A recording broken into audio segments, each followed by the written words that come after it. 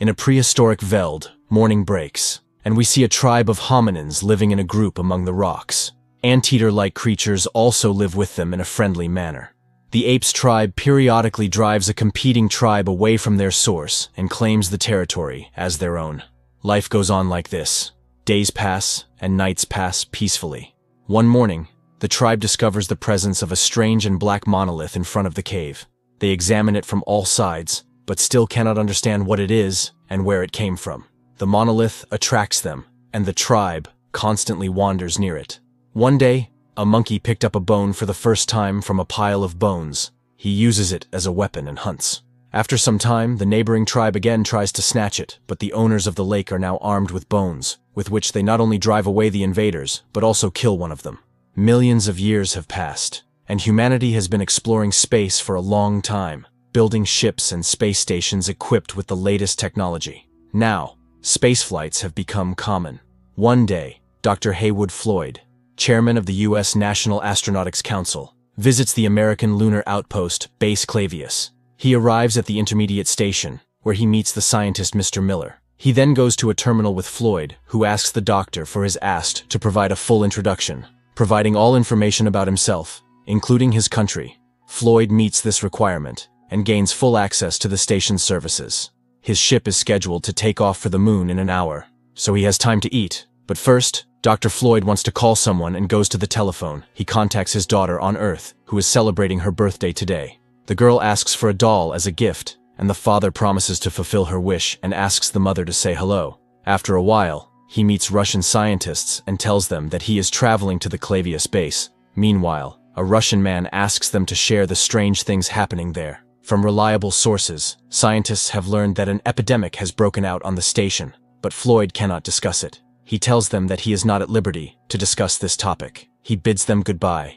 and the co-workers wish him good luck. During the trip to the moon, Floyd takes a nap while flight attendants deliver healthy meals in special boxes. The flight ends at the Clavius base, where the pilots land the ship on an equipped cosmodrome where people are already waiting for them. Later, Floyd addresses a staff meeting, emphasizing the need to keep their latest discovery a secret. He considers the rumors of an epidemic and believes that the discovery should remain secret, because its publication could cause a major cultural shock. However, he himself considers this decision difficult. Later, Dr. Floyd is taken to the location where an artifact was recently found.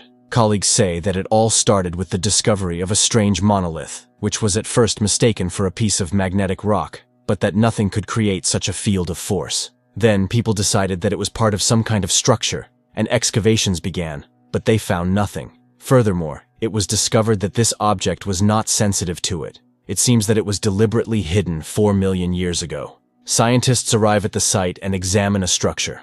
As lunar dawn arrives, the black monolith catches the sun's rays for the first time after millions of years of imprisonment, resulting in a piercing electronic scream heard in the astronauts' headsets. After 18 months, the American spacecraft Discovery 1 is heading towards Jupiter. This is the first journey towards Jupiter. The ship is about half a billion miles from Earth, and the mission is going according to plan so far.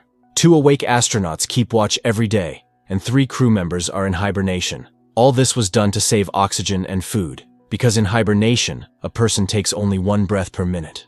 The entire functioning of the ship is controlled by a supercomputer called HAL 9000 which is capable of mimicking human actions and creating some form of consciousness. It completes tasks at unimaginable speed without any errors. Later, Frank receives a transmission from Earth, and his parents congratulate him on his birthday. They show him the cake they ordered for him and tell him they are proud of Frank.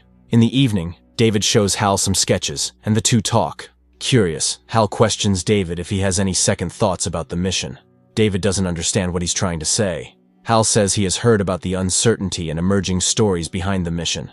Apart from this, he also mentioned the strange structure on the moon and unconventional preparations for the journey. Then suddenly, a warning appeared on the system that a unit of the spacecraft had malfunctioned. Hal says he has discovered a problem with one of the antenna control devices, and it will fail 100% within 72 hours. So David only has 72 hours to fix it. If not fixed, it will also affect the life support system.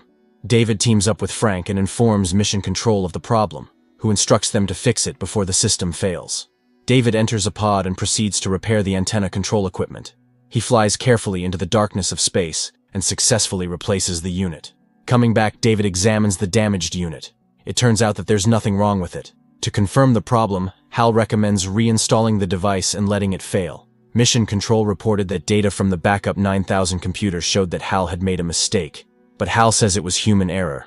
David and Frank choose to have a private conversation in the EVA pod so that HAL won't be able to hear them because they are worried about HAL's actions.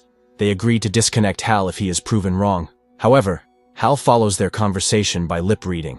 As Frank moves away from his pod to replace the antenna unit, HAL unexpectedly takes control of the pod and begins an attack, causing Frank to become separated from the ship and his airline to be cut. David sees him from the window and climbs onto another pod to rescue Frank. While he is out, HAL unexpectedly shuts down the life support functions of the crew members in suspended animation, resulting in their tragic deaths. In the following scenes, David retrieves Frank's body and gets back on the ship. He asks Hal to open the door, but Hal does not answer. After some time, Hal says he can't open the hatch, to which David asks what the problem is. Hal explains that this mission is very important, and he can't let anyone jeopardize it. He says that David and Frank were planning to disconnect him, but he can't let that happen. David says he can get in through the emergency airlock. However, Hal reminds him he doesn't have a helmet, so his effort is futile. Saying this, he ends the conversation. With no other option, David releases Frank's body into space and heads for the emergency airlock. He carefully opens the emergency airlock. However, David cannot enter easily without a helmet, so he carefully positions his pod near the emergency airlock. As he opened the pod's door, he was sucked into Discovery's airlock by vacuum-driven air. David walks through the corridors of the spaceship, and Hal asks what he plans to do, but he ignores it. He goes into Hal's processor core and begins disabling its functioning circuits. Hal begs David not to do so, but David doesn't listen to him at all. When Hal finally deactivates, a video recorded by Floyd 18 months earlier plays, in which he announces that the structure buried beneath the moon's surface is the first discovery of intelligent life outside Earth. And the real objective of the mission was to understand the riddle of the monolith and the mysteries associated with it. Scientists received a radio signal sent by the monolith from Jupiter's orbit, which was the reason the Discovery 1 mission was sent. David continued his onward flight alone and discovered a third very large monolith orbiting the planet in Jupiter's orbit. He leaves Discovery, boards the pod, and approaches the monolith. As he gets closer, he is drawn into a whirlpool of colored lights, and as he passes by, he sees strange, celestial phenomena and strange landscapes of unusual colors. It seems almost endless. The pod is set in a large, neoclassical bedroom, and David stands in the room wearing a spacesuit, now looking very old and shaky. He walks into the bathroom and looks at his wrinkled skin in the mirror. Such a transformation astounds him. When he looks back, he sees an old man in the room who is none other than David, who is now even older than before. While he is eating, he sees a third version of himself, now lying on his deathbed and pointing towards the black monolith. As David approaches her, he transforms into a fetus encased in a transparent ball of light floating in space above the earth. One of the economic interpretations of the monolith in this film is the belief that it may be a symbol of intelligence and knowledge. However, the film's director Stanley Kubrick never explained its true meaning and left it as a seeming mystery. The film inspires the audience to think and create their own meanings and interpretations, allowing each person to understand it from their own perspective.